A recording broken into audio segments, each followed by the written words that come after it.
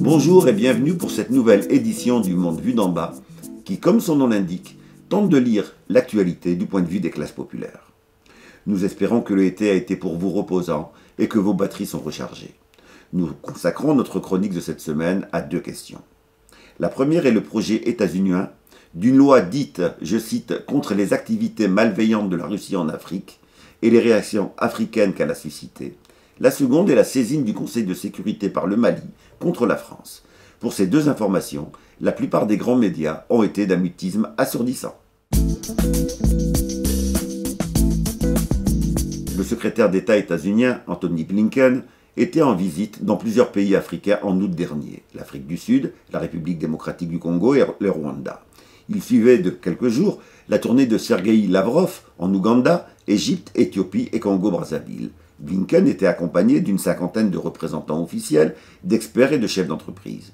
Ce voyage était censé symboliser la rupture avec la politique de Donald Trump, qui avait qualifié en janvier 2018 les pays africains de pays de merde. Anthony Blinken déclare ainsi à son arrivée à Pretoria le 3 août dernier ce voyage est un signal, une preuve de l'importance que l'on accorde à nos relations avec l'Afrique. La conférence de presse qu'il tient avec la ministre sud-africaine des Relations internationales, Naledi Pandor, est cependant le lieu d'une mise au point de la ministre sud-africaine contre l'ingérence états-unienne en Afrique. Je cite Nous sommes des nations souveraines, sur un même pied d'égalité. Ce qui ferait marcher les choses, c'est le respect mutuel. Ce que je déteste, c'est qu'on me dise soit vous choisissez ce qu'on vous recommande, ou vous en subirez les conséquences. Je ne serai jamais intimidé de la sorte, et je ne m'attendrai pas non plus qu'un autre pays africain accepte d'être intimidé de la sorte. Fin de citation. La mise au point de la ministre sud-africaine était une réponse à deux provocations états-uniennes. La première provocation se situe dans les déclarations de Linda Thomas Greenfield, ancienne secrétaire d'État adjointe chargée des affaires africaines auprès d'Obama et actuelle ambassadrice de l'ONU. Lors d'une visite en Ouganda, deux semaines auparavant, celle-ci déclarait en effet, je cite, si un pays décide de traiter avec la Russie alors qu'il existe des sanctions, il enfreint ces sanctions. Il enfreint nos sanctions et dans certains cas, il enfreint les sanctions de l'ONU avec d'autres pays. Et nous conseillons aux pays de ne pas enfreindre ces sanctions car s'ils le font, ils risquent de faire l'objet de mesures à leur encontre pour avoir enfreint ces sanctions, a martelé l'ambassadrice. Fin de citation. La seconde provocation à laquelle répond la ministre sud-africaine est encore plus scandaleuse. Il s'agit ni plus ni moins que du vote par la Chambre des députés d'un projet de loi prévoyant de sanctionner les pays africains ne prenant pas suffisamment leur distance avec Moscou. Ce projet, intitulé Loi de lutte contre les activités malveillantes de la Russie en Afrique, fut sévèrement critiqué par la ministre sud-africaine. Je cite Ce texte est offensant, car il vise à punir les pays qui ne suivent pas la ligne américaine sur le conflit entre l'Ukraine et la Russie.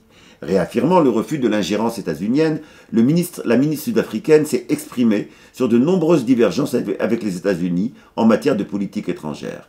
Elle rappela ainsi qu'Israël est un État d'apartheid, que les frappes israéliennes récentes contre Gaza ne sont pas condamnées par les États-Unis. Je cite, Nous devrions être autant alarmés par le sort des Palestiniens que par celui des Ukrainiens. De la même façon, la ministre a publiquement critiqué la reconnaissance par les États-Unis de la souveraineté du Maroc sur le Sahara occidental et a réaffirmé le soutien de l'Afrique du Sud au droit à l'autodétermination du peuple sahraoui. Cette volonté de mettre des mots sur toutes les divergences avec les États-Unis était bien sûr un message politique en direction de Biden et de ses alliés, mais aussi de certains pays africains se faisant le relais en Afrique des pressions occidentales. Le contenu de ce message peut se résumer comme suit. L'Afrique refuse la logique d'une nouvelle guerre froide que veulent imposer les États-Unis et défend un monde multipolaire refusant l'ingérence étrangère. Le projet de loi visant à légitimer ces nouvelles ingérences états-uniennes a été adopté à la Chambre des députés en avril 2022. Il doit prochainement passer au Sénat. À l'occasion de son adoption par la Chambre des députés, le président de la Commission étrangère de la Chambre résumait comme suit la véritable nature de ce projet de loi. Je cite. Le projet de loi fait appel aux ressources du département d'État et d'autres agences fédérales pour examiner les activités malveillantes de la Fédération de Russie en Afrique et demander des comptes à ceux qui sont complices de ces activités. Les États-Unis ne resteront pas les bras croisés et ne laisseront pas la machine de guerre de Poutine se renforcer au détriment des États fragiles d'Afrique et d'ailleurs. Fin de citation. Le Le 15 août dernier, le ministre malien des Affaires étrangères, Abdoulaye Diop, a demandé aux Nations Unies une réunion d'urgence du Conseil de sécurité pour faire cesser, je cite, les violations répétitives et fréquentes de l'espace aérien national. Fin de citation. Les accusations maliennes ne s'arrêtent pas là. La France est également accusée de soutenir certains groupes terroristes pour maintenir l'insécurité dans la région et ainsi justifier le maintien durable des troupes françaises en Afrique. Enfin, le Mali accuse la France de mener des opérations visant à déstabiliser et à renverser l'actuel gouvernement malien. Je cite. Il convient de rappeler que c'est en raison de suspicions de manœuvres de déstabilisation de la France que le gouvernement du Mali s'est fermement opposé à la demande de soutien aérien de la France au profit de la MINUSMA, afin qu'elle ne se serve pas de la mission onusienne comme prétexte pour mener des opérations subversives visant à fragiliser davantage le Mali et la région du Sahel. Fin de citation.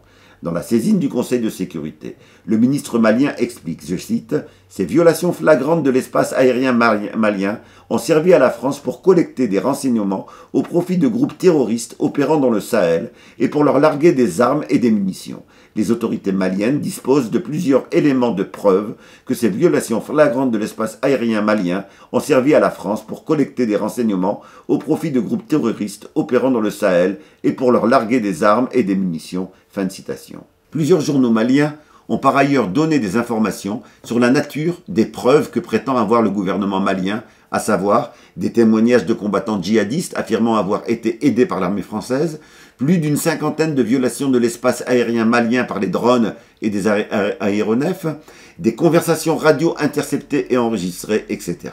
La saisine du Conseil de sécurité demande à ce dernier d'exiger, je cite, que la France cesse immédiatement ses actes d'agression. Fin de citation. Elle prévient enfin que, je cite, le Mali se réserve le droit de faire usage de la légitime défense, conformément à l'article 51 de la Charte des Nations Unies. Les réactions de Paris devant une critique aussi grave ont été particulièrement timides. Aucune intervention de Macron ni d'aucun membre du gouvernement ne se sont exprimés sur la question. Seule l'ambassade de France et un militaire de Barkhane ont timidement assuré le service minimum. L'ambassade de France au Mali explique ainsi, je cite, La France n'a évidemment jamais soutenu directement ou indirectement ces groupes terroristes qui demeurent ses ennemis désignés sur l'ensemble de la planète. Fin de citation. La journaliste Martine Laroche-Joubert résume comme suit cette non-réaction gouvernementale. Je cite Pour ceux qui s'attendaient à des démentis sur la base de preuves à la hauteur des accusations que le Mali a brandies, la déception fut totale. Fin citation. Malgré cette posture du silence, relayée par la plupart des grands médias qui sont restés eux aussi globalement silencieux, le gouvernement français s'est cependant senti suffisamment menacé par les possibles révélations maliennes qu'il a mobilisé son fidèle allié, le président sénégalais Macky Sall, pour qu'il fasse pression sur le Mali afin que celui-ci retire sa plainte auprès du Conseil de sécurité. Le 25 août, la ministre des Affaires étrangères sénégalaise annonce à la presse que le Sénégal propose sa médiation entre la France et le Mali afin, je cite, d'éviter que ne se produise un acte de guerre et dans le but d'éviter que la confrontation devant le Conseil de sécurité ne débouche sur un déballage risqué pour l'une ou l'autre des parties qui pourrait y perdre sa crédibilité. Fin de citation. La France a bien entendu un intérêt important à éviter la tenue de cette réunion du Conseil de sécurité. Jamais l'État malien n'aurait couru le risque d'une telle confrontation sans disposer d'éléments compromettants pour Paris. Nul doute que la France profitera du fait qu'elle a pris la présidence du Conseil de sécurité le 1er septembre pour tenter d'enterrer cette demande malienne. Elle peut compter pour cela sur le soutien des États-Unis et des autres pays de l'OTAN qui considèrent l'Afrique comme leur chasse gardée. La ministre allemande des Affaires étrangères déclarait ainsi lors d'une conférence de presse avec son homologue marocain le 26 août, je cite, nous, nous ne devons pas abandonner le Mali et surtout, nous ne devons pas le laisser à la Russie. Il est trop tôt pour savoir si les manœuvres françaises éviteront à Paris la confrontation avec les preuves que le Mali dit posséder. En revanche, ce qui est ici mis en exergue de manière incontestable, c'est le caractère inégal de l'organisation actuelle du Conseil de sécurité des Nations Unies.